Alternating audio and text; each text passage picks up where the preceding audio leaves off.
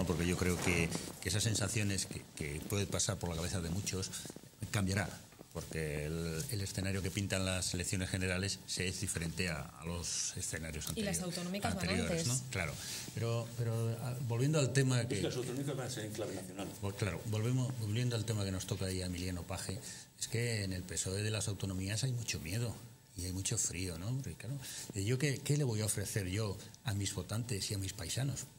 Tengo para ofrecerle una deflactación del IRPF, yo no tengo para ofrecerle una bonificación de sucesiones o una desaparición de, del, impuesto de sucesiones. Y dice, bueno, ¿yo qué le puedo ofrecer? Le puedo ofrecer una política falaz, embustera, canina, sinvergüenza eh, de Pedro Sánchez de Pedro Sánchez, del gobierno central, es lo único que le puedo ofrecer. Entonces es lógico que empiecen a embarcar distancia. Lo que pasa que esto de enseñar la patita y esconderla a la primera que te sale el chivato de turno, sea Chimo pues, pues no es bueno, no es bueno para ellos, porque entonces les ponen el disparador y dice, bueno, ¿usted de qué va?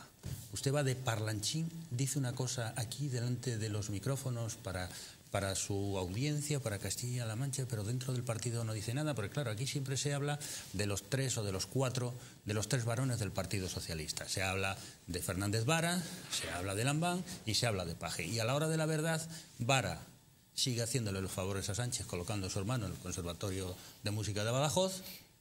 Eh, Emiliano García Paje sigue calladito porque fuera de la política hace un frío atroz. Y Lambán, bueno, pues Lambán el hombre ya tiene bastante con, con seguir adelante. ¿no?